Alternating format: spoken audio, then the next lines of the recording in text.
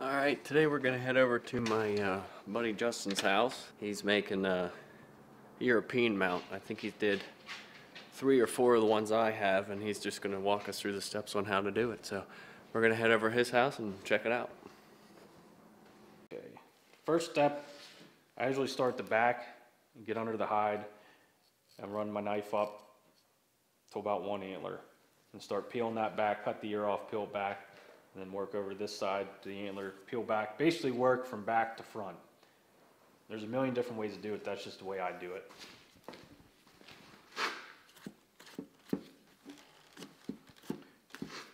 Just however you can get, you know, just like you're skinning it underneath the hide and just get all the hide off.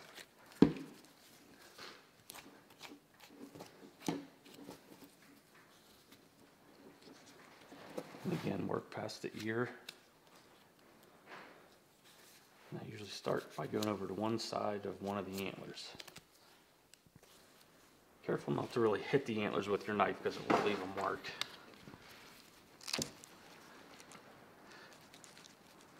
Just cut right around the antler and start peeling it back. Cut through the hide some and peel back. Take the ear off. Start working the other way around the antler.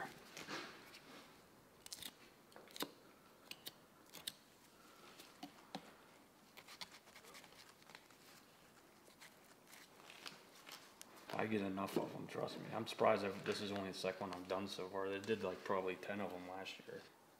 And if you leave a little bit around the base of the antler, it's no big deal, because to cover the whole skull, skull with water when you're boiling, usually that will, that will cook right off too. It's not a big deal for a little bit.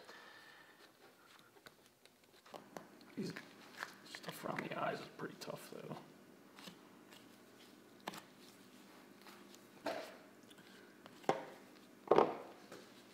Once I get down so far, then I like starting to pull this, rest of this down off the neck.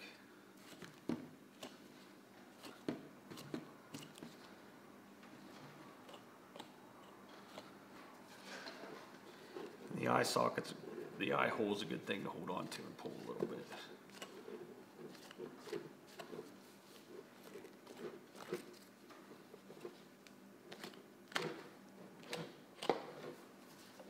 And Just keep turning it and work your way around to get it down off the jaw.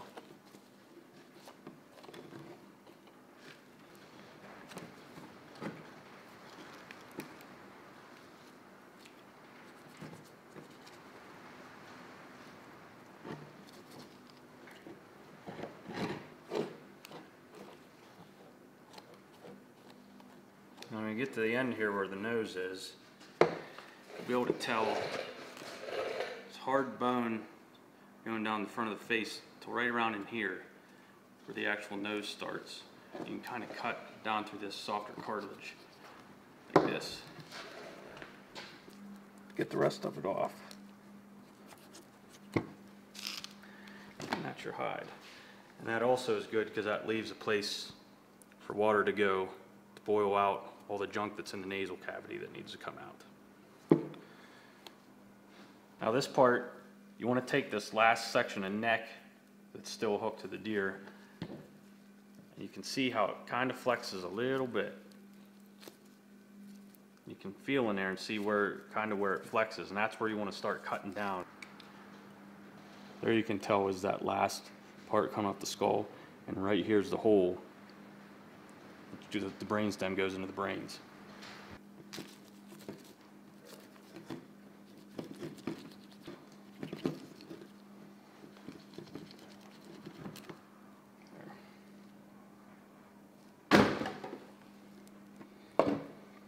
It's good to have gloves, especially when you get to the brains. Now next I like to take off the bottom jaw. Usually cut down along it.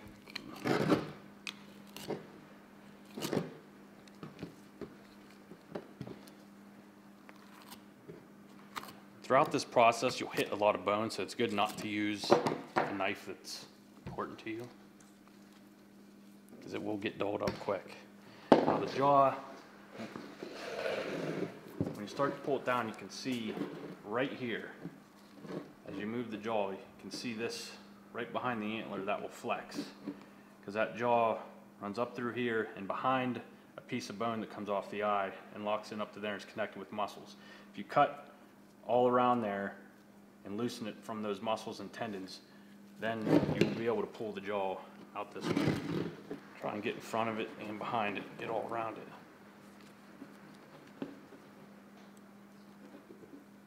You have to do this a few times till you can finally pull it out, but. There's tendons that hold the side of the jaw too that you wanna cut through.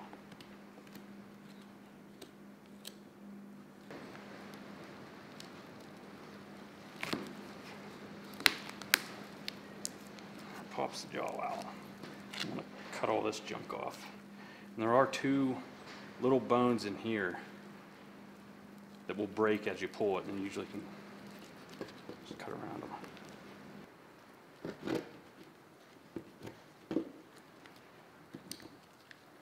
There's one of the bones that broke.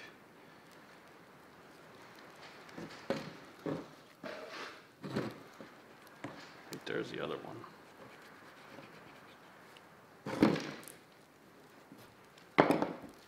That's the jaw. And This deer does have all of its adult teeth, so I don't know, call that a year and a half old buck, I guess.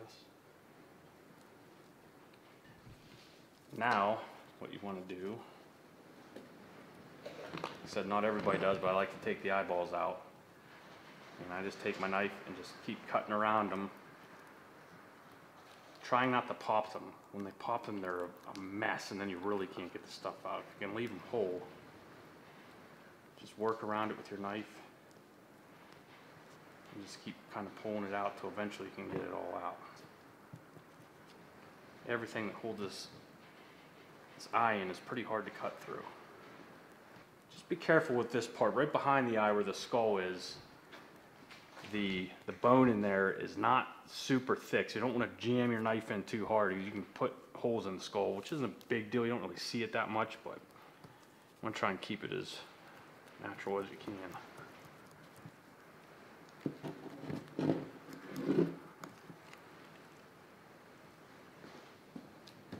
Again, this leaves a place for the water to get into and get all this stuff loosened up and boiled out and it'll come right out. Because I usually do about 10 a year. This year's not looking like it'll be that. Who knows? Rifle season could explode this guy I'm doing this one for, I've done like, I don't know, I've done a bunch for him. This isn't a business, is just something I do for fun. Guess my idea of fun is a little skewed.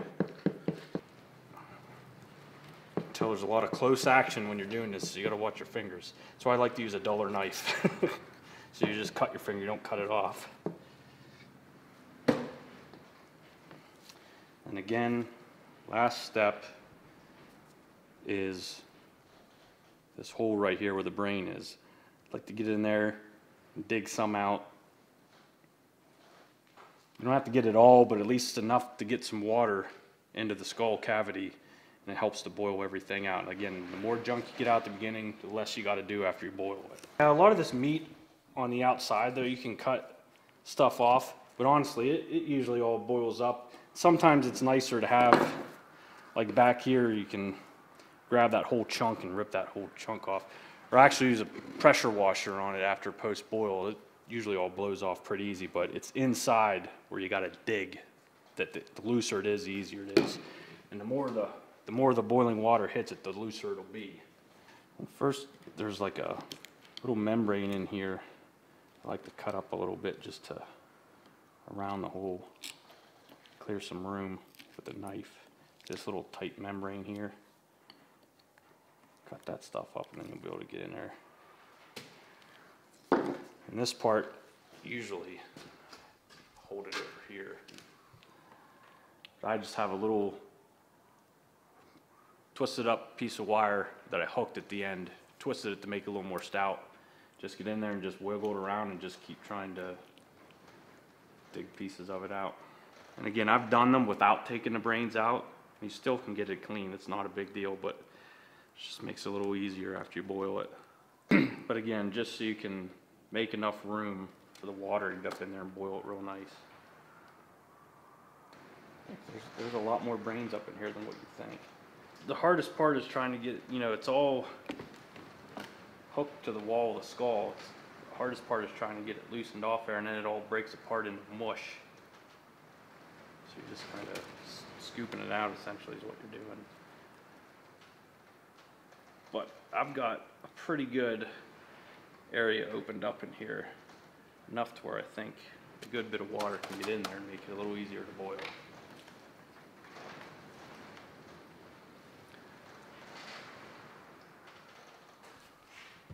This is about as far as you really need to take it before you boil it all out.